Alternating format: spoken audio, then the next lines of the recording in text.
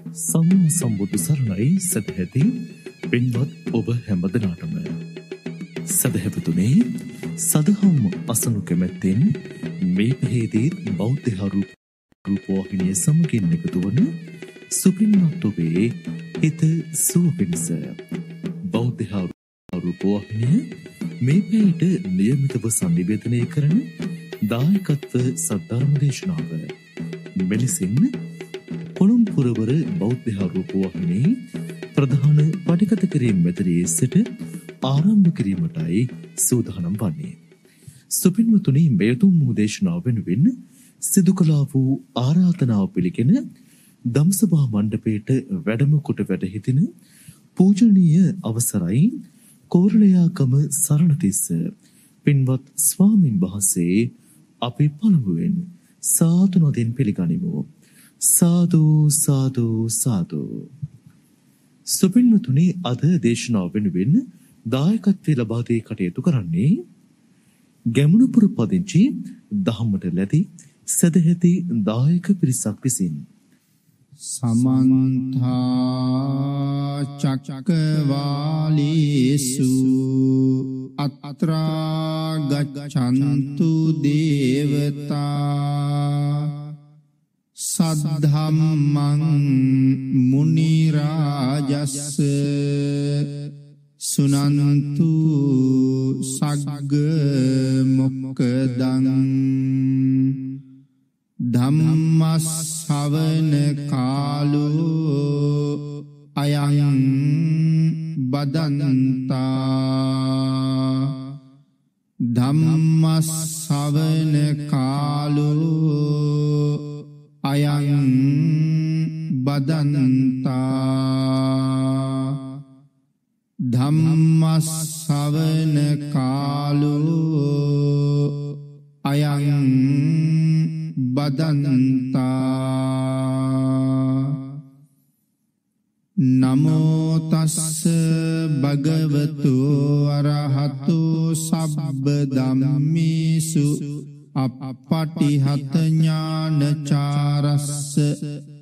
දස බලධරස්ස චතුවේ සාරජ්‍ය විසාර දස්ස සබ්බ සත්තුතුතමස්ස ධම්මිස්ස රස්ස ධම්මරාජස්ස ධම්මස්සාමිස්ස තථාගතස්ස සබ්බඥුනෝ සම්මා සම්බුද්දස්ස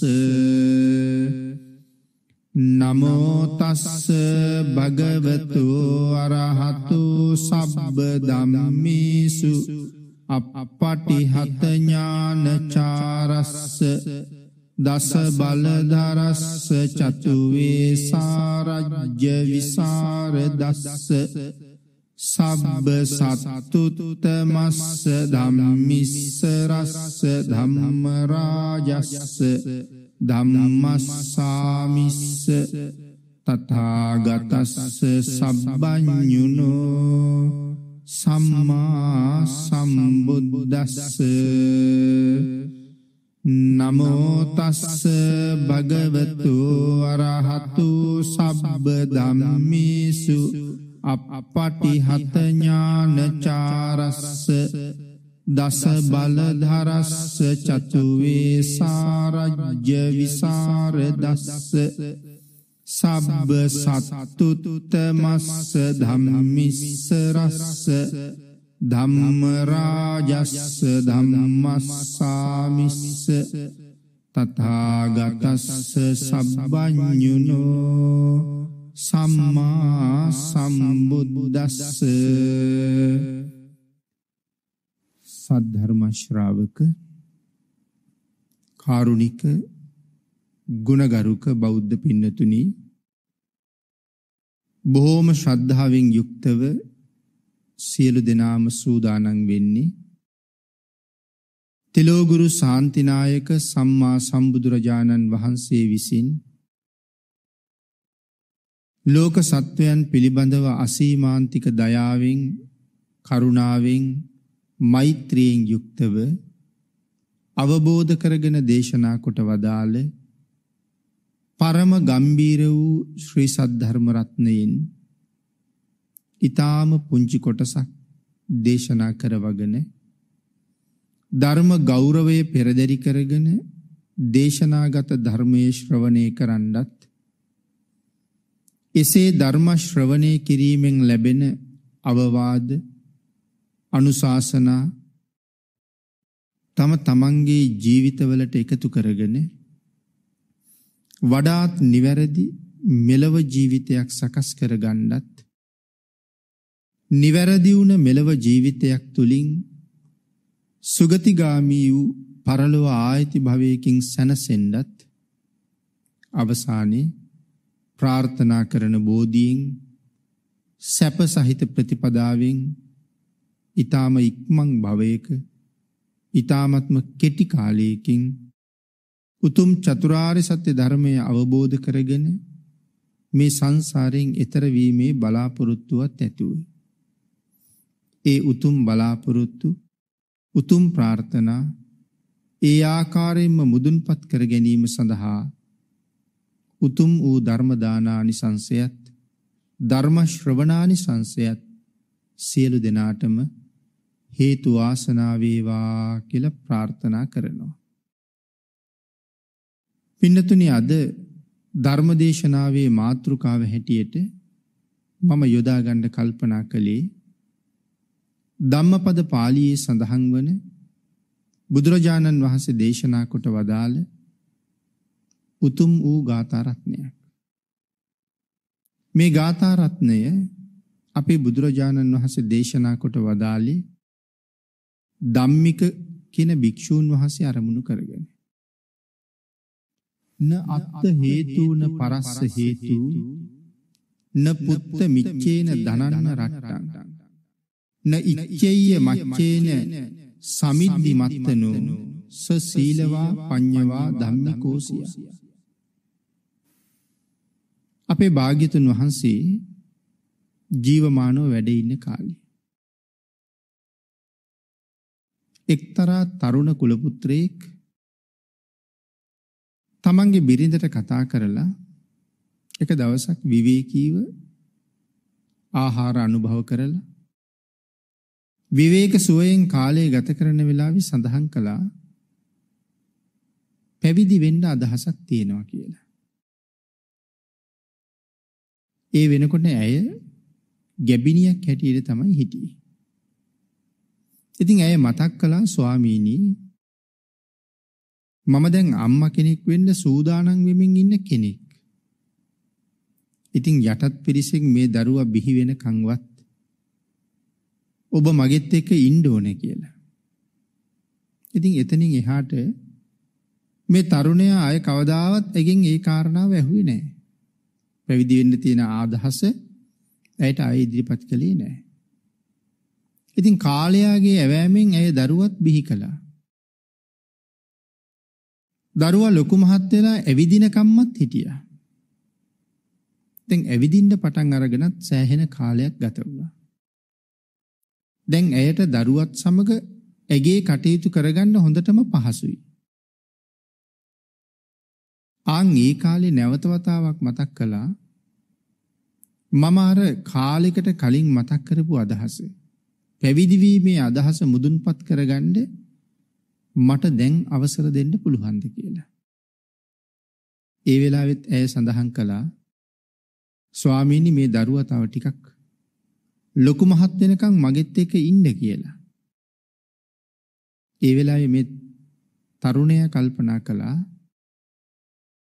මගෙන් අහන්න ගියොත් මට කවදාවත් මගේ බලාපොරොත්තුව මුදුන්පත් කරගන්න වෙන්නේ නැහැ. ඒ හින්දා මගෙන් අහන නොහන එකෙන් මට තේරුමක් නැහැ. ඒ නිසා මගේ අරමුණ හොයාගෙන යන්න ඕන කියලා. ඔහු ගිහිල්ලා පැවිදි වෙනවා. බොහෝම වෙරවීරිය කරලා කාලාන්තරයක් දුක් විඳලා කෙසේ හෝ පැවිදි වෙච්ච අරමුණ සම්පූර්ණ කරගත්තා. ඒ කියන්නේ අති උතුම් රහත් භාවයේම ලබා ගත්තා කියන එකයි. සසර කෙරවල කරගත්තා. තමන් සංසාරේ කෙරවල කරගත්තට පස්සේ තමන්ගේ බිරිඳ වෙනුවෙනුත් පුතා වෙනුවෙනුත් ගිහි කාලේ බිරිඳ සහ දරුවා වෙනුවෙන් යුතුයකම් ටික සම්පූර්ණ කළොත් ඒක ඊටාම වටින බව හැඟුණ නිසා උන්වහන්සේ කල්පනා කළා ඒ දෙන්න බලන්න යන්න. ඉතින් තමන්ගේ පරණ ගෙදර හොයාගෙන වඩින අතරේ උන්වහන්සේට පුතා මුණ ගැහෙනවා. එතකොට දැන් එයත් තරුණ වයසට ඇවිල්ලා. ඉතින් අඳුර ගන්නවා මේ තමයි ඒ පුතා කියලා. හඳුනගත්තට පස්සේ පුතාට ධර්ම දේශනාවක් කරාම පුතත් ජීවිතේ මනාව තේරුම් අරගෙන සසර දුක ඒ දේශනාව තුලින්ම අවබෝධ කරගෙන රහතන් වහන්සේට දැන්වා ස්වාමීනි ඔබ වහන්සේ ගිය මග මාත් එක්ක යන්න කියලා. උන්වහන්සේ ඒ කාරණාවෙන් ඒ දරුවත් පැවිදි කෙරෙව්වා. හැබැයි වැඩි කල නොයා දරුවත් සව් කෙලෙස් නසා ගත්තා. එතකොට දැන් බිරිඳ දන්නවා පුතත් තාත්තා ගිය මගම ගිහිල්ලා දැන් සංසාරේ කෙරවල කරලා ඉන්නේ. ඇය කල්පනා කළා මේ ගිහි ගෙදරට වෙලා යම් කෙනෙක් වෙනුවෙන් මං වාසය කළා නම් ඒ දෙන්නම දැන් මෙහෙ නෑ. එතකොට මම තව කවුරු වෙනුවෙන් මේ ගිහි ගෙදර කාලය ගත කරන්නද? එහෙම කල්පනා කරලා ඇය තීරණය කළා මමත් ඒ මගම යන්න ඕනේ කියලා. ඇයත් පැවිදි වුණා. මෙහෙණවරේ කාලයක් බණ දහම් ඉගෙනගෙන කමටහන් වඩලා ජීවිතයේ අවසන් කාලේ ඇයත් සව් කෙලෙස් නැසලා රහත් වුණා. දැන් එතකොට පවුලම මහන වුණා පවුලම සංසාරයෙන් එතරත් වුණා. මේ භික්ෂූන් වහන්සේ නැත්තම් ගෙදර ඉන්න කාලේ අර පුතාගේ තාත්තා ඒ කාලේ නම ධම්මික පැවිදි වුණාට පස්සෙත් නම ධම්මිකම තමයි. භික්ෂූන් වහන්සේලා දවසක් ධම්සභා මණ්ඩපයේ සාකච්ඡාවකට භාජනය කළා ධම්මික තෙරුන් තමන් ගිය උතුම් මග ගිහි ගෙදර හිටපු කාලේ තමන්ගේ පුතත් බිරිඳත් දෙන්නම අරන් ගියා. පවුලටම මහා යහපතක් සැලසුවා. කියන කාරණාව කතා කර කර ඉන්න වෙලාවේ අපේ බුදුරජාණන් වහන්සේ ධම්සභාවට වැඩියා. බුදුරජාණන් වහන්සේගේ සිරිතනේ මහණෙනි මම එන්න කලින් මොනවාගේ සාකච්ඡාවක හිටියද කියලා අහන එක. ඉතින් එදත් ඒ ප්‍රශ්නෙම භික්ෂුන් වහන්සේලාගෙන් ඇහුවා. උන්වහන්සේලා සඳහන් කළා ස්වාමීනි ධම්මික තෙරුන් වහන්සේ තමන් මේ සංසාරේ යම්සේ කෙරවල කළාද ගිහි කල තමන්ගේ පුතණුවන්ටත් පුරාණ දූතිකාවටත් ඒ මගම පෙන්නවා. ඔවුනුත් ඒ මාර්ගයේම ගමන් කරලා සසර දුක කෙරවල කරගත්තා. අපි ඒ කාරණාව තමයි මේ සාකච්ඡා කර කර හිටියේ කියලා. අන්න ඒ වෙලාවේ තමයි අපේ බුදුරජාණන් වහන්සේ අපි අර ධර්ම මාතෘකා කරගත්ත ගාථාරත්නය දේශනා කොට වදාළේ. න අත්ත හේතුන පරස්ස හේතු. න පුත්ත මිච්චේන දනන්න රට්ටන්. න ඉච්චෙය අදම්මේන සමිද්ධි මත්තනෝ ස සීලවා පඤ්ඤවා ධම්මිකෝසියා. මොකද්ද මේ ගාථාවේ තේරුම? න අත්ත හේතුන පරස්ස හේතු. මේ ලෝකේ ඥානවන්තයා කවදාවත්ම තමන් නිසා පව් කරන්නේ නැහැ. න අත්ත හේතුන. පරස්ස හේතු. අනුන් නිසාවත් පව් කරන්නේ නැහැ. න පුත්ත මිච්චේන ධනංන රට්ටං. දරුවෝ නිසාවත් ධනය නිසාවත් කවදාවත් පව් කරන්නේ නැහැ. න ඉච්ඡෙය්‍ය අදම්මේන සමිද්ධි මත්තනෝ ඉච්ඡ කියලා කියන්නේ කැමැත්තටනේ. න ඉච්ඡෙය්‍ය අදම්මේන සමිද්ධි මත්තනෝ අධර්මයෙන් ලබන සමෘද්ධියට කිසිසේත්ම ඥානවන්තයා කැමති වෙන්නේ නැහැ. සසීලවා ඔහු සිල්වත්. පඤ්ඤවා ඔහු ප්‍රඥාවන්තයි. ධම්මිකෝසියා ඔහු ධාර්මිකයි. කවුද එතකොට මේ සිල්වත් ප්‍රඥාවන්ත ධාර්මික පුද්ගලයා තමන් නිසාවත් අනුන් නිසාවත් දරුවෝ නිසාවත් ධනය නිසාවත් අකුසල් කරන්නේ නැති අධාර්මිකව සමෘද්ධියක් ප්‍රාර්ථනා කරන්නේ නැති පුද්ගලයා සිල්වත් කෙනෙක් ඒ වගේම සඳහන් කළා ඥානවන්ත කෙනෙක් ඊළඟට සඳහන් කළා ඔහු ධාර්මිකයෙක් කියලා. එතකොට දැන් අපිත් සමාජي කතා කරනකොට බොහොම සිල්වත් ගුණවත් ධාර්මික පුද්ගලයෝ කියලා කතා කරන අය බොහොමයක් අපිට මුණ ගැහෙනවා. එතකොට දැන් මේ ගාථාරත්නයෙන් අපිට පැහැදිලි වෙනවා සිල්වත් කියන්න නම් ඥානවන්ත කියන්න නම් ධාර්මිකයෙක් බව කියන්න නම් ඒ අය ළඟ මොන වගේ සුදුසුකම් තියෙන්න ඕනේද කියන එක. මොනවද එතකොට සුදුසුකම් ටික? තමන් හේතුයෙන් පව් කරන්නෙත් නැති වෙන්න ඕනේ. අනුන් නිසා පව් කරන්නෙත් නැති වෙන්න ඕනේ. දරුවෝ නිසා පව් කරන්නෙත් නැති වෙන්න ඕනේ. ධනය නිසා පව් කරන්නෙත් නැති වෙන්න ඕනේ.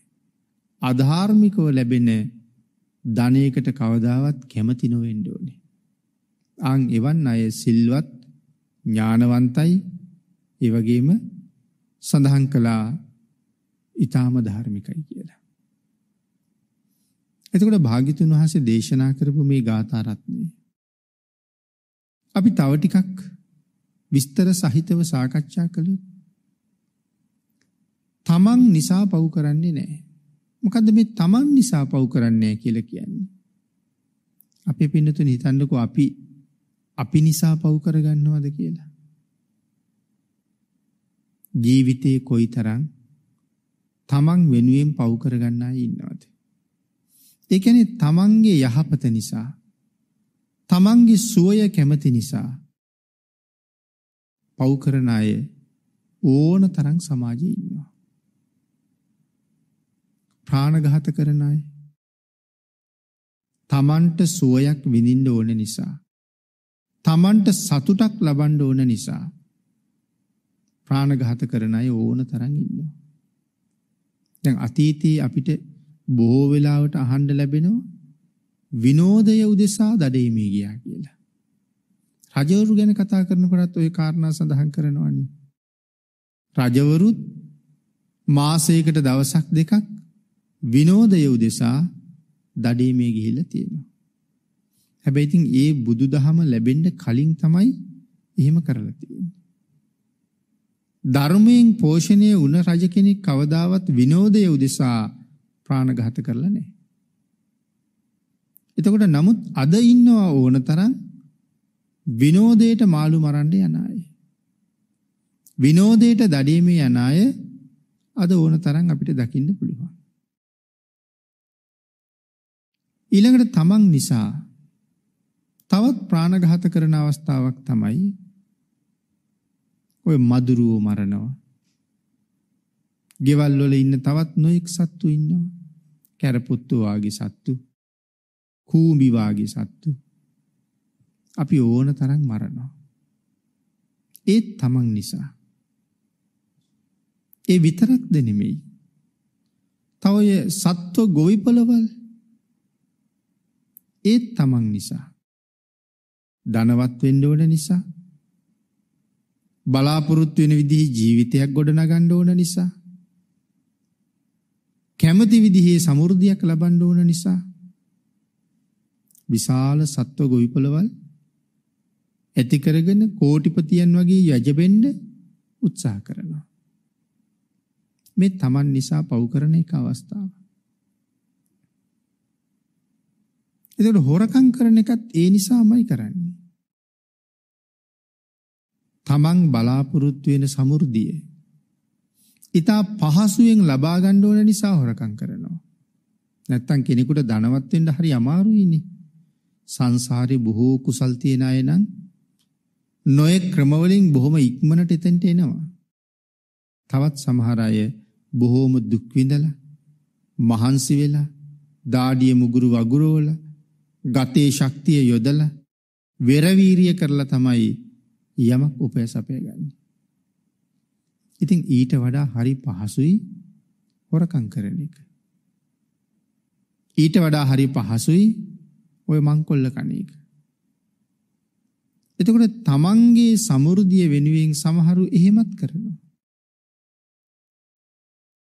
ඊළඟට සඳහන් කළා තමන්ගේ සැපය සුවය උදෙසා මේ මිනිස්සු මේ වැරදි කාම සේවනයේ වාගේ දේවල් වලටත් ඕන තරම් යොමු වෙලා ඉන්නවා. එක වස්තුවකින් සෑහෙන්නේ නැතුව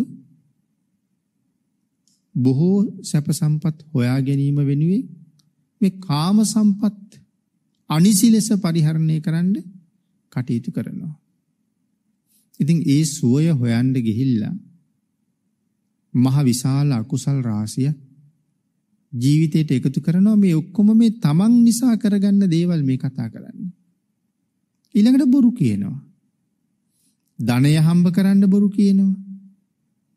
ආරක්ෂාව උදෙසා බොරු කියනවා. තමන් හොඳ කෙනෙක් කියලා සමාජයට ඔප්පු කරන්න බොරු කියනවා. තමන් ධාර්මික බව ශ්‍රද්ධාවන්ත බව පෙන්වන්න බොරු කියනවා. ඉතින් වචනයෙන් ප්‍රකාශ කරන්නත් පුළුවන්. සමහර වෙලාවට හැසිරීමෙන් පෙන්වන්නත් පුළුවන්. වැඩිපුර කතා නොකර ඉන්නවා. බිම් බලාගෙනම ගමන් යනවා. පිරිස අතරට එන්නේ නැතුව ඉන්නවා. මේ තමන් හොඳයි වගේ පෙන්වන්න. නමුත් තමන් කවුද කියන කාරණාව තමන්ම බොහෝම හොඳට දන්නවා. මේ වාගේ නොයේ ක්‍රම පාවිච්චි කරලත් තමන් නිසා කුසල් කරගන්නවා. සුරාපානය කරලා සැපයක් හොයන අය.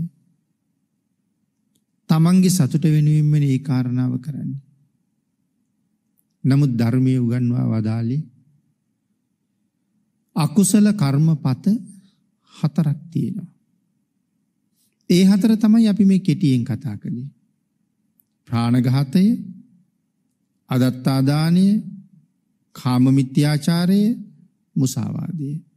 මේ හතරම කර්ම පත. ඇයි කර්ම පත කියල කියන්නේ. මරණාසන්න මෝතේ සිහිපත් වනොත් තමන් කරගත්ත අකුසල කර්මපතයක් ඒ කාන්තයෙන් නිරේ උපද්දවනවා. ඒ නිසා තමයි මේවට කර්ම පත කියල කියන්නේ. නමුත් පස්වෙනි ශික්ෂාපදේ සුරාමේරය කියන ශික්ෂාපදේ කර්ම පත ගණයට අයිතිවෙන්නේ අයිතිවෙන්නේ නෑ. නමුත් සඳහන් කරලා තියන්නේ මහසිල් පදය කියලා. කර්ම පතගණයට අයිති නොවී ඇයි මහසිල් පදය කියල සඳහන් කළේ. සුරා පානය කිරීමෙන් හානිවෙන්නේ තමන්ටන නොයෙක් ලෙඩරෝගෝල්ට ගුතුරු වෙනවා. වැටෙනවා අතපයි කැඩෙනවා යානවාහන විනාස කරගන්නවා තමන්ගේ ධනය හානි කරගන්නවා මේ ඔක්කොගේම පාඩුව තියෙනෙ තමන්ට. නමුත් සුරාවෙන් මත්වෙච්ච නිසා ඒ පුද්ගලයා අර කර්මපත හතරම කරනවා. දැන් බලන්නකො අපිසා අපිත් එක ජීවත්වෙන සමාජ මිනිස්සු ප්‍රාණඝාත කරන එක හොඳ නෑ කියලා දන්නේ නැද්ද? දන්නවා. දන්නවා වුණත් මිනිස්සු කරන්නේ නැද්ද? කරනවා. හොරකම් කරන එක හොඳ නැති බව හුඟක් දෙනා දන්නවා. හැබැයි ඒ දන්න අයත් හොරකම් කරනවා. වැරදිකාම සේවනයත් මුසාවත් එහෙමම තමයි. එතකොට සුරාපානය නොකොට සාමාන්‍යින් ජීවත්වෙනකොට සුරාපානය කළ කෙනෙකුට වඩා අපි සිහියෙන් සහ ප්‍රඥාවෙන් ජීවත්වෙනවා.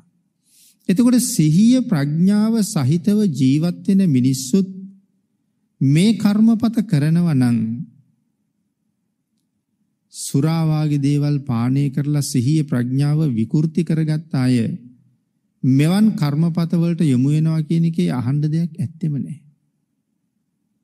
ආං ඒ සිහිය ප්‍රඥාව මදි නිසා සුරාවෙන් මත්තෙච්ච පුද්ගලයා අර කර්මපත හතරම කරනවා. ඉතින් ඕන තරං සමාජයෙන් අපිට අහන්ඩ ලැබෙනවා ඔහුගේ සිහිය කොයි තරං දුරුවලද සමහර වෙලාවට තමන්ගේ දුව පවා කෙලසපු අවස්ථා කොච්චර තියෙනවාද. එමනම් එවන් අය අර කර්මපත හතරම කරගන්නවා. අන්න ඒ නිසා මේකට මහසිල් පදී කියල කියනවා. තවත් කාරණාවක් තමයි සුරාපානයේ ආදීනව පිළිබඳව සඳහන් කරනකොට නිරයවල විඳින විපාකයන් බොහෝසේ පෙන්නවා වගේම ඒ නිරාදුක් නිමාවුනාට පස්සේ. නැවත සංසාරය වෙනත් කුසල කර්ම හේතු වෙලා මනුස්ස ජීවිතයක වගේ ඉපදෙන්ඩ ලැබුණත් එක්කො මන්ද ගාමී පුද්ගලයෝ වෙලා ඉපදෙනවා. ඇයි මේ මන්ද ගාමී කියල කියන්නේ මන්ද ගාමී කියල කෙනෙක් කියන දේ කියන විදිහටම වැටහෙන්නේ නැති අයට. සාමාන්‍යයෙන් කියන්නේ එක දෙයක් නමුත් ඔවුන් කරන්නේ තව වැඩ. ඉතින් සමාජ බොහෝ අපහසුතාවයන්ට ඒ අය ලක් වෙනවා. සමහරලාට ගුටි කණ්ඩත් සිද්ධ වෙනවා. බැනුම් අහනවා කියනේ වගෙන ඉවරයක් නෑ. රැකියාවක් කරන තැනක හිටියොත් රැකියාවත් අහිමි කරගන්නවා. අනිත් කාරණාව තමයි එවන් අය ඇසුරු කරන එකත් තමන්ගේ ආරක්ෂාවට ලොකු බාධාවක්. ඒ සමහර වෙලාවට බොහොම සූක්ෂම දේවල් තියෙනවා. විදුලිය සමග කටයුතු කරන තැන්. යන්ත්‍ර සූත්‍ර සමග කටයුතු කරන තැන්. එවන් අවස්ථාවක නුසුදුසු ක්‍රියාවක ඔවුන් යෙදුනොත් විශාල හානියක් සිද්ධ වෙන්න පුළුවන්. ඇයි යම් කාරණාවක් කියලා යොමු කරහම ඒ වැඩේට කියාපු දේ නෙමෙයිනි කරලා තියෙන්නේ. මොකද එයාට අපි කියන දේ එකපාරම වැටහෙන්නේ නැතුව යනවා. අන්න ඒකට කියනවා මන්දගාමී කියලා. ඊට වඩා ටිකක් දියුණු වෙච්චාම ඒකට කියනවා මන්ද බුද්ධික කියලා. ඒ తත්වයේ තවත් වර්ධනය වෙච්චාම කියනවා උම්මත්තක කියලා. මන්දගාමී මන්ද බුද්ධික උම්මත්තක මේ තත්ත්වයන්ට පත්වෙන්නේ සසර මේ සුරාවට ගොදුරු වෙච්ච අය. එතකොට දැන් බලන්නකෝ ප්‍රාණඝාත කරන කෙනෙක් තමන් කරපු අකුසල කර්මයට නිරයවල් වල දුක් විඳලා ඒ සියලු දුක් නිමා කරලා නැවත මනුෂ්‍යාත්මයකට ආවහම ඔහුට ඒක විපාක දෙන එක ක්‍රමයක් තමයි අල්පායුෂ්ක බව. එතකොට මේ වාගේ බුද්ධාන්තරයක ඉපදිලා බුදුරජාණන් වහන්සේගේ ධර්මයේ පිළිබඳව ශ්‍රද්ධාව පිහිටවලා සිල් ගුණ ආරක්ෂා කරගෙන දම්පැන් පූජා කරගෙන බොහෝ කුසල් කරන කෙනෙක් අවුරුදු 30කින් විතර මැරිලා යනවා. එතකොට දැන් අල්පායුෂයක්නේ. නමුත් අවුරුදු 30ක් තරම් කාලය තුල ඔහු බොහෝම ගුණධර්ම සම්පූර්ණ කරගත්ත නිසා තමන්ගේ ජීවිතයට හොඳ සාධාරණයක් 30 අවුරුද්දක් තිස්සේ කරගත්තා. පාඩු නෑනේ මැරුණත් කුසල් ගොඩක් කරගත්ත නිසා. නමුත් හිතන්නකො මන්ද බුද්ධිකයෙක් උම්මත්තකයෙක් වෙලා ඉපදිලා ලෞතුරා බුදුරජාණන් වහන්සේගේ සිරිපතුල ගාව වාඩි වෙලා අවුරුදු 100ක් ජීවත් වුණත් ඒ මන්ද බුද්ධිකයට එයින් ප්‍රයෝජනයක් තියෙනවද? ආන් ඒ වාගේ කරුණු රාශියක් සලකලා තමයි මේ අවසාන සිල්පදයට මහ සිල්පදී කියලා දේශනා කරලා තියෙන්නේ. එතකොට ඥානවන්ත පුජ්‍යලයා සිල්වත් කෙනා ධාර්මික කෙනා තමන් නිසා කවදාවත් අකුසල් කරන්නේ නැහැ. අනුන් නිසා අකුසල් කරන්නෙත් නැහැ. දැන් අපේ පින්නතුන් බොහොම නිදහසේ හිතලා බලන්න තමන්ගේ ජීවිතයේ ගෙවුන කාලය පිළිබඳව මේ ගෙවිලා ගියපු කාලය තුල අපි අනුන් වෙනුවෙන් පව් කරපු අවස්ථා කොච්චර තියෙනවද? එහෙම එක අවස්ථාවක්වත් නැහැ කියලා හිතෙනවද? අනුන් නිසා කරපු පව් හුඟක් තියෙනවා. අනුන් නිසාම සත්තු මරලා තියෙනවා. අනුන් නිසාම බොරු කියලා තියෙනවා. අනුන් නිසාම තුන්වෙනි සිල්පදයක් උල්ලංඝනය කරලා තියෙනවා. ඒ වගේම මුසාවාදයටත් සුරාපානයටත් අනුන් නිසාම යොමු වෙලා තියෙනවා. එහෙම අවස්ථා පිළිබඳව කරුණක් කරුණක් ගානි සාකච්ඡා කරන්න පුළුවන් අපි කොහොමද අනුන් නිසා යොමු වෙලා තියෙන්නේ කියලා. සුරාපානයේ වාගේ ශික්ෂාපද ගත්තහම සමහර අය උත්සවවලට ස්වාගේ සම්බන්ධ වෙච්චහම යාළුවෝ නිසා මද්ද්‍රව්‍ය ටිකක් පාවිච්චි කරපු අය ඉන්නවා. මොකද කල්පනා කරනවා මේ පාවිච්චි කළේ නැත්තම් මේ අය මාව කොන් කරනවා. උසුළු විසුළු කරනවා. සමච්චලයට භාජනය කරනවා. ඒ නිසා මේ අය එක්ක ඉන්නකොට නම් ටිකක් පාවිච්චි කරන්නම වෙනවා කියලා ඔවුන් සතුටු කරන්නත් ඔවුන්ගෙන් එන අපවාද වලින් බේරෙන්නත් අකමැත්තෙන් නමුත් පාවිච්චි කරන්න වෙනවා. එහෙම කතා කරන අය ඕන තරම් ඉන්නවා.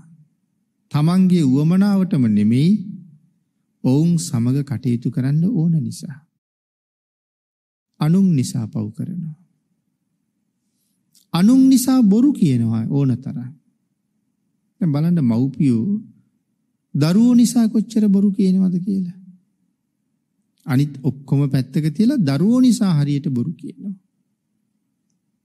දරුවෝ ඊටාම ලාබාල කාලේ ඉඳලම අපි දරුවෝ අඬනකොට බොරු කියනවා. දරුවෝ කෑම කන්නේ නැති හින්දා බොරු කියනවා. යන යන පස්සෙන් එන නිසා බොරු කියලා නවත්තලා යනවා. බලන්න දරුවෙක් නලවන්න කොච්චර බොරු කියනවද කියලා. කෑම කන්නේ නැතිකොට බය කරන්න කොච්චර බොරු කියනවද කියලා. ඉතින් එතකොට දරුවටත් සත්පුරුෂ ආශ්‍රයක් නෙමෙයි හම්බ වෙන්නේ. එතකොට ඇයි දරුවෝ නලවන්න කියලා හිතලා අපි බොරු කියන්නේ? සිල්වත් බව මව ළඟ තියෙනවා නම් මවට කවදාවත්ම හිතෙන්නේ නෑ දරුවා නලවන්න බොරු කියන්න ඕනේ කියලා.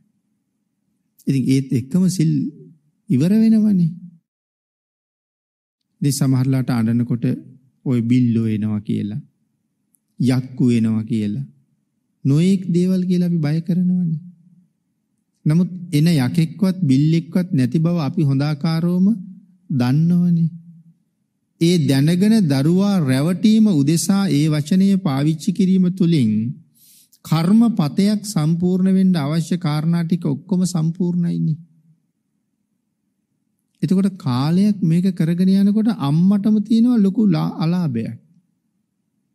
ඇයි දරුවත් පළවෙනි දෙවෙනි තුන්වෙනි දවස්වල බය වෙනවා. සමහරලාට මාසයක් හමාරක් අම්මා එහෙම කියහම බය වෙනවා. ඊළඟට දරුවා බය වෙන්නේ නැත්නම් ඒකට තවත් බොරු ටිකක් එකතු කරලා කියන්න ඕනේ. ඒ බයවීමත් වැඩි කල් පවතින්නේ නැහැ. ඊට පස්සේ ළමයා දන්නවා ඇත්තටම අම්මා කියන්නේ බොරු කියලා. එතකොට ළමයා තව ටිකක් ලොකු මහත් වෙලා ළමයා යම් යම් අකුසල කර්ම වලට යෙදෙනකොට අපි ළමයා අකුසලයෙන් බේරන්න ඕන නිසා අකුසලයේ විපාක ළමයට කියලා දෙනවා. හැබැයි එදාටත් ළමයා හිතන්නේ අම්මා කියන්නේ බොරු කියලා. ආන් ඒ දරුවා ඊට පස්සේ අම්මා කියන දේ අහන්නේ නැති කෙනෙක් පිළිගන්නේ නැති කෙනෙක් බවට පත් වෙනවා. ඉතින් එතකොට අනුන් නිසා බොරු කියපු හැටි ඒ නිසා මේ ජීවිතය තුලදීම අපිට ඒකේ විපාකත් ලබන්න වෙන හැටි. ඉතින් ওই එක අවස්ථාවක්. ඊළඟට දරුවෝ පාසල් වල යවන්න. දරුවන්ට රැකී ආරක්ෂා ආරන් දෙන්න. මේ දේවල් කරන්න ගිහිල්ලා කොච්චර බොරු කියනවද?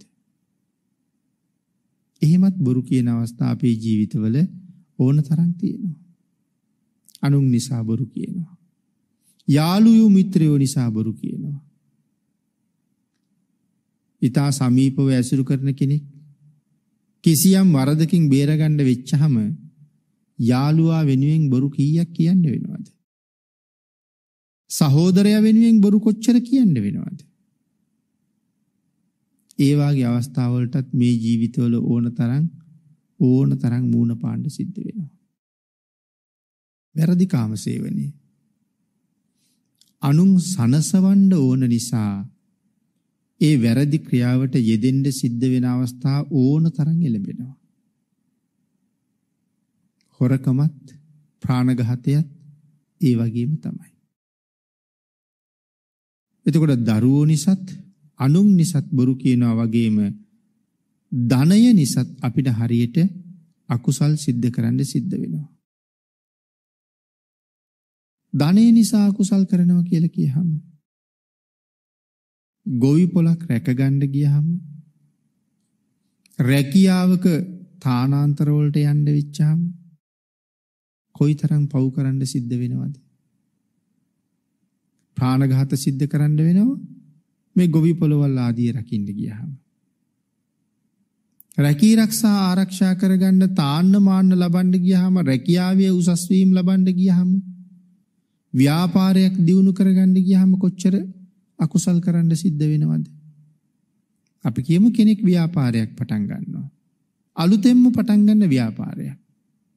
නමුත් මේක දියුණු කරගණ්ඩ නං තමන්ට කලින් ව්‍යාපාර කරගෙන යන දියුණු ශේස්ත්‍රවල ඉන්න අය අපි සම්බන්ධ කරගණ්ඩ වෙනවා. එතකොට තමයි අපිට පුළුවන් වෙන්නේ ඒගොල්ලන්ගේ මට්ටමින් ඉස්සරහට යන්ට.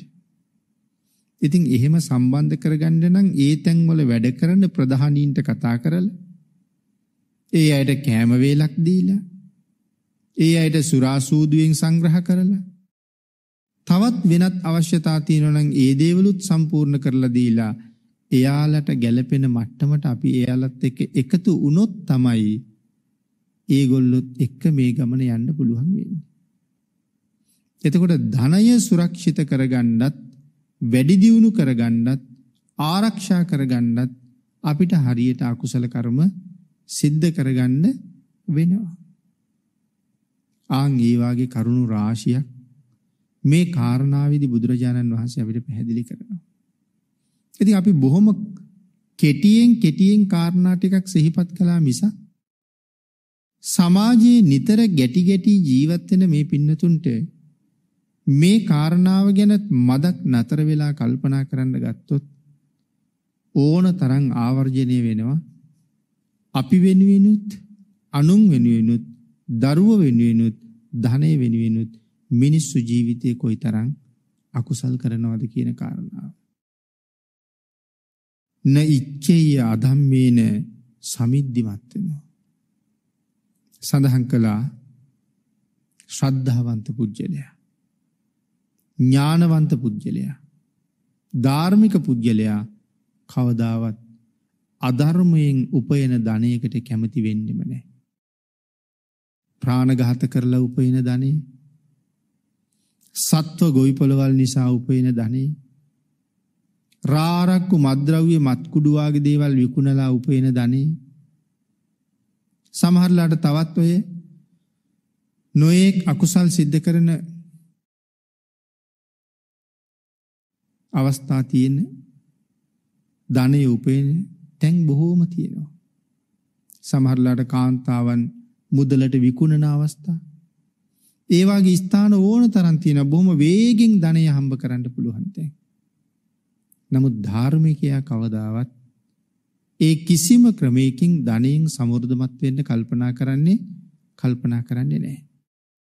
ආං එහෙම පුද්ගලයා භාගිතුන් වහස දේශනා කරනවා කොයි වගේද සමහර කෙනෙක් තමන්ගේ අංග ප්‍රත්‍යාංග නිසා තමන් උපයාගත්ත ධනය වියදන් කරනවා. අංග ප්‍රත්‍යාංග නිසා ධනය වියදන් කරනවා. අපි කිමු අපේ අතක් අපේ ඇහැක් අපේ කකුලක් කිසියම් රෝගයකට භාජනය වුණා කියලා. එතකොට මෙතෙක් හරි හම්බ කරගත්ත වස්තුවක් බැංකුවෙත් රැස් කරලා තියලා තියෙනවා අතෙත් මිල මුදල් තියාගෙන ඉන්නවා. ඒ සියලු මිල මුදල් ලෝභ නැතුව වියදම් කරනවා මොකටද? කකුල සනීප කරගන්න. අත එහෙම නැත්නම් ඇහැ සනීප කරගන්න. තමන් හම්බ කරගත්ත ධනය වියදම් කරනවා. මුදල් වශයෙන් තියෙන ධනය ඉවර වුණොත් ඊළඟට ඉඩම් වශයෙන් තියෙන ධනය වියදම් කරනවා. ඉඩමක් විකුණනවා. වාහනයක් විකුණනවා. නැත්නම් මාළවලලු තියෙනවා විකුණන්නත් පුළුවන් උගසට තියන්නත් පුළුවන්. ඒ වාගේ ක්‍රමවලින් මුදල් ලබාගෙන තමන්ගේ මේ ශරීරාංගවල තියෙන රෝගාබාධ සුවපත් කරගන්න කටයුතු කරන එක සාමාන්‍ය මිනිස්සුන්ගේ ස්වභාවයයි. එහෙනම් අංග රැකගන්න ධනය වියදම් කරනවා. එතකොට ජීවිතය රැකගන්න වෙච්චාම ජීවිතය රැකගන්න අංග වියදම් කරනවා. ඉතින් අපි කියමුකෝ මේ කකුලකමයි ලෙඩේ තියෙන්නේ. නොඑක් ආකාරයෙන් වියදම් කරලා වියදම් කරලා මෙරට පිටරට හැමතැනම ගිහිල්ලා බෙහෙත් කළත් සුවයක් නැහැ.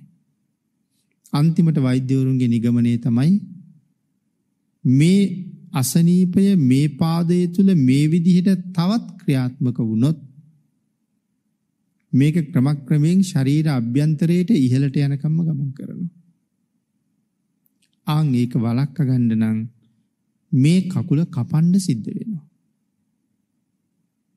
එහෙම කීවට පස්සේ අපි අකමැතිද කපන්න?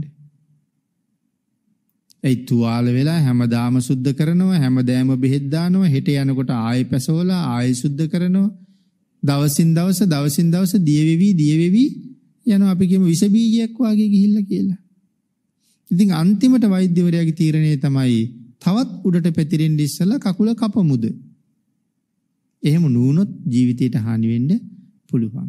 එතකොට ජීවිතේ රැකගන්න ඕන නිසා අපි කකුල කපන්න කැමති වෙනවද නැද්ද? කැමති වෙනවා. ආන් අංග රැකගන්න ධනය වියදම් කළා ඊළඟට ජීවිතය රැකගන්න අංග කැප කරනවා. මේ කකුල නිසා මෙච්චරත් වියදම් කළානේ කියලා කකුල තියන්න කියලා කියන්නේ කවුරුවත්. කොච්චර වියදම් කරලා තිබුණත් ජීවිතයට හානි වෙනව නම් කකුල කපන්න කැමතියි. ඊළඟට දේශනා කළා නමුත් සීලවන්තයා ප්‍රඥාවන්තයා ධාර්මික පුජ්‍යලයා ධනය නිසාවත් අංග නිසාවත් ජීවිතය නිසාවත් කවදාවත්ම පව් කරන්නේ නැහැ. සදහැවත් සිල්වත් ඥානවන්ත පුජ්‍යලයා හැම වෙලාවෙම තමන්ගේ සංසාර විමුක්තිය ගැන කල්පනා කරනවා. මේ ජීවිතෙන් පස්සේ ඊළඟ භවය පිළිබඳව කල්පනා කරනවා.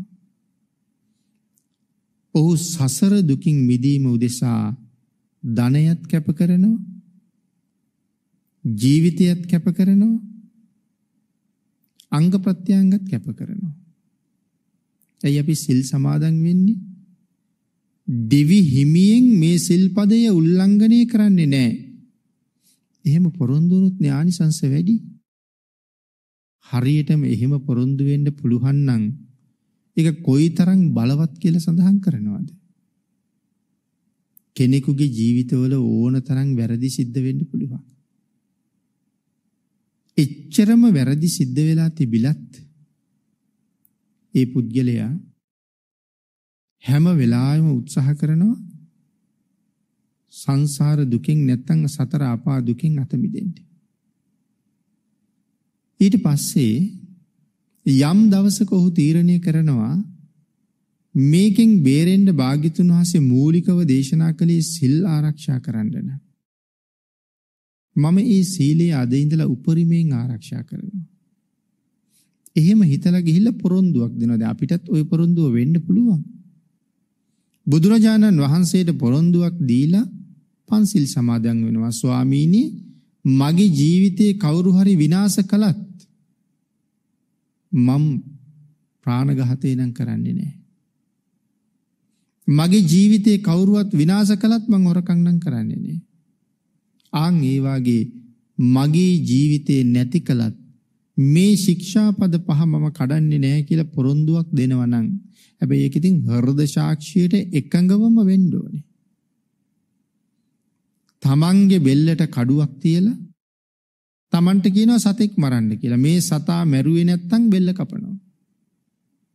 බෙල්ල කැපුවත් මං සතා මරන්නේ නැහැ කියලා කියන්න ඕනේ. අපේ අහලා තියෙනව නේද අර එක්තරා උපාසක මහත්මයෙක් පිළිබඳව අපේ ධර්මයේ සඳහන් කරලා තියෙනවා ධාර්මික තිස්ස රජුරුවන්ගේ කාලේ. ධාර්මික තිස්ස රජුරුත් කවදාවත්ම සිල් උල්ලංඝනය කරන්නේ නැති කෙනෙක්. නමුත් රජුරුවන්ට වටුමස් කෑමේ ආසාවක් තිබිලා රජ්ජුරුවන්ට ඕන වෙනවා තමන්ට අකුසල් රැස් නොවෙන විදිහටත් මස් ගෙනල්ල දෙන පුද්ගලයට අකුසල් රැස් නොවෙන විදිහටත් තමන් නිසා ප්‍රාණඝාත නොවී වටුමස් අනුභව කරන්නට. ඉතින් රජ්ජුරුවෝ රටවැසියන්ට කතා කරලා කීවොත් මට වටුමස් කෑමේ ආසාවක් තියෙනවා කියලා මේ මිනිස්සු රජුට සලකන හැටියට ඕන තරම් වටුව අරන් එනවා. එතකොට දැන් රජු වෙනුවෙන්නේ මරන්නේ. එහෙම නොවෙන්න ඕනේ. අවුරුදු 3ක් වටුමස් කෑමේ ආසාව හිතේ හිර කරගෙන හිටියා. වටුමස් ඕනේ කිව්වොත් වටුව මරයි කියලා. ඊළඟට රජුරුව හෙව්වා මගේ රටේ කවුද ජීවිතේ ගියත් සිල් කඩන්නේ නැති කෙනෙක් ඉන්නේ. අන්තිමට උපාසක කෙනෙක් හම්බ වෙනවා. ඉතින් එයාට රජුරුව කුකුලෙක් යවලා කිව්වා මරලා උයලා ගෙනත් දෙන්න කියලා. මරනවද කියලා බලන්නයි හදන්නේ. මොකද රාජ ආඥාවට කවුරුත් බයයිනේ. උපාසක මහත්තයා පණිවිඩය ඇරියා මරලා ගෙනල්ලා දුන්නොත් උයලා දෙන්න පුළුවන්. මට මරලා උයන්න බෑ. රාජපුරුෂෝ ඒක ගිල්ල රජ්ජුරුවන්ට කීවා. රජ්ජුරුව වහාම උපාසක කැඳවලා රාජපුරුෂයන්ට නියෝග කළා දංගෙඩියට ගෙනහිල්ලා බෙල්ල කපන්න කියලා. දැන් වදමල් කරේ දාගෙන වදක බෙර ගහ ගහ අරගෙන යනවා. රජ්ජුරුව වෙනම පණිවිඩයක් යවුවා මේ කුකුලා ගෙනහිල්ලා උපාසක තැනගේ බෙල්ල දංගෙඩිය උඩින් තියලා කුකුලා පෙන්නලා කියන්නේ මේ කුකුලගේ බෙල්ල කරකවන්න පුළුවන් නම් උඹේ ජීවිතේ බේරෙනවනි කියලා. දැන් හොඳටම මරණ බය දැනෙන වෙලාවනේ. ඒ විදිහටම කළා. බෙල්ල අර කොටේට තියාගෙන ඉන්නේ කොටනකන්. ඒ වෙලාවේ කුකුලා ඉල්ලගත්ත උපාසක මහත්තයා. ඉල්ලගෙන කුකුලගේ ඔළුව අත ගාලා කියනවා මගේ පණ උඹ අරගනි. උඹේ පණ මට දියන්. දැන් මේ කුකුලා මරන්නනේ ඉන්නේ. එහෙනම් මැරෙන්න ඉන්න උඹේ පණ මට දියන්. මම උඹ වෙනුවෙන් මැරෙනවා. උඹ මැරුවොත් රැකෙන මගේ පණ අරගෙන උඹ ඵලයන් කියලා කුකුලත් හිටියා. ඒ කියන්නේ ජීවිතේ ගියත් ප්‍රාණඝාත කරන්නේ නැහැ. රජුරවන්ට ආපහු පණිවිඩය දුන්නා මෙහෙම කළා කියලා. එතනින් පස්සේ රජුරෝ ඔහුට දක්වන්න පුළුවන් උපරිම ගෞරව දක්වලා මාලිගාවට එක්ක ගිහිල්ලා රහසින් අර කතාව කීවා. වටුමස් කන්න ඕනේ කියලා. උපාසක මහත්තයා කිව්වා ඕක මට කලින් කීවා නම් මොකද? එයා වෙළඳ පොළට ගිහිල්ලා මැරිච්ච වටුව අරගෙන ඇවිල්ලා උයාගෙන ගිහිල්ලා දුන්නා. ඒකයි මෙතන සඳහන් කළේ ජීවිතේ නිසාවත් ප්‍රාණඝාත කරන්නේ මේ සිල් උල්ලංඝනය කරන්නේ කියලා කෙනෙක් පොරොන්දු වුණොත් වර්ධ සාක්ෂියට එකඟවම සඳහන් කරලා තියෙනවා පින්නතුනි එහෙම පොරොන්දු වෙලා නැගිටිනකොට කෙනෙක් පිහියෙන් කෙටුවොත් කඩු පිටිපස්සේ ඉඳලා. අර පොරොන්දුවත් එක්ක කෙලින්ම උපදින්නේ සුගතිය කියලා. බලන්න මේ පොරොන්දුව කොච්චර වටිනවද? ආන් ඒ නිසා ධාර්මික ශ්‍රද්ධාවන්ත ප්‍රඥාවන්ත පුජ්‍යලයා තමන්ගේ ජීවිතේ නිසාවත් කවදාවත්ම සිල් කඩන්නේ සිල් කඩන්නේ කියන කාරණාව භාග්‍යතුන් වහන්සේ දේශනා කරලා ධම්මික උපාසක මහත්තයා ගාවට මේක සැසඳුවා. බිරිඳ මෙච්චර ඉල්ලීමක් කරනකොටත් තමන්ගේ යුතුයකම වෙනුවෙන් ඔහු බිරිඳත් දරුවත් දෙන්නමත් ඇරියා. කාට යුතුයකම් කරන්නද? තමන්ට යුතුයකමක් කරගන්න. බුද්ධාන්තරයක ලැබිච්ච මනුස්ස ජීවිතයට සාධාරණයක් කරගන්න. කෙනෙක් ඉන්න පුළුවන් අම්මා වෙනුවෙනුත් උපරිම යුතුයකම් කරනවා තාත්තා වෙනුවෙනුත් උපරිමයක් කරනවා දරුව වෙනුවෙනුත් සමාජය වෙනුවෙනුත් උපරිම යුතුයකම් කරනවා. ඊටාම හොඳ කෙනෙක්. හැබැයි ඔහු සමාජයට හොඳයි. ඔහු කාට උපරිමයෙන් යුතුයකම් කළත් තමන්ට යුතුයකම් ටික කරගෙන නැත්නම් ඔහු පරාජිතෙක් ආන් එහෙම නොවි අපිටත් ලැබිලා තියෙන බුද්ධාන්තරයෙන් උපරිම ප්‍රයෝජනයක් ලබා ගැනීම සඳහා අනුන්ට යුතුයකම් කරන ගමන් තමන් වෙනුවෙනුත් යුතුයකම් සම්පූර්ණ කරගෙන බොහොම සතුටින් නිර්භයව ඇස් දෙක පියාගන්න පුළුවන් කෙනෙක් බවට පත් වෙන්න පුළුවන්කම තිබුණොත් ඔබ ජයග්‍රහණය ලැබපු කෙනෙක්. එතෙන්ට යන්න තුනුරුවන්ගේ ආශිර්වාදයෙන් ඔබට ශක්තිය, ධෛර්යය, වාග්ය, වාසනාව උදා වේවා කියලා ආශිර්වාද කරනවා. පින්නතුනි අද ධර්මදේශනාවේ දායකත්වයේ දරුණු ලබනවා ගැමුණුපුර පදිංචි දහමටම ලැබි සැදැහැති දායක පිරිසක් විසින්. දායක පිරිසේ උතුම් අරමුණු සිහිපත් කරනවා. නිදන ප්‍රාප්තියට පත්වන MK පේමාවති මව WD විමලදාස පියාණන් විපුල භාරත සහෝදරයාට සහ මියගිය අනිකුත් සියලූම ඥාතීන්ට උතුම් ධර්මදානමය කුසල කරමය අනුමෝදං වේවා. ඊට අමතරව දේශකයණන් වහන්සේට නිදුක් නිරෝගී සුවය දීර්ඝායුෂ ලැබේවා. බෞද්ධයා මාධ්‍යජාලයේ වත්මන් සභහපති අවසරයි බොරලන්දේ වජිරඥාන ස්වාමින් වහන්සේ ඇතුළු කාර්ය මණ්ඩලේ සියලුම දෙනාටමත් විදේශගත මුරුසි රටේ විදේශගතව මුරුසි රටේ ජීවත්ව සිටින පුතනුවන්ට ප්‍රසන්න සංජීව පුතනුවන්ටත් සරෝන් බිරිඳටත් චූටි දීනියටත් විදේශගතව සිටින ගංගා ප්‍රියංගනී නැගනියටත් රත්නත්‍රී ආශිර්වාදය ප්‍රාර්ථනා කරන අතර සියලුම සහෝදර සහෝදරියන්ට ධර්මය අසන්නට පැමිණි සියලුම දෙනාටත් නිදුක් නිරෝගි භාවයේ චිරජීවනය ලැබේවා කියලා ආශිර්වාද කරනවා. සැදැහැවත් පිරිස විසින් පින් අනුමෝදං කළ මව්පියන් ඇතුළු සියලු දෙනාටම පින් අනුමෝදං වේවා ආශිර්වාද කළ දූපුතුන් සහෝදර සහෝදරියන් ඇතුළු අනික් සියලු දෙනාටමත් රත්නත්‍රේ ආශිර්වාදයේ නිදුක් නිරෝගි භාවයේ චිරජීවනය ලැබේවා. ඒ වගේම දේශනාවේ දායකත්වය දරමින් කටයුතු කළ මේ සැදැහැවත් පිරිස ප්‍රධාන පින් අනුමෝදන් කළ ආශිර්වාද කළ සියලු දෙනාටම ඊටාම ඉක්මන් භවයක ඊ타මත්ම කෙටි කාලයකින් සැප සහිත ප්‍රතිපදාවකින් උතුම් චතුරාර්ය සත්‍ය ධර්මය අවබෝධ කරගෙන සංසාරයෙන් එතර වෙන්න වාග්ය වාසනාව ලැබේවා කියලා ප්‍රාර්ථනා කරනවා.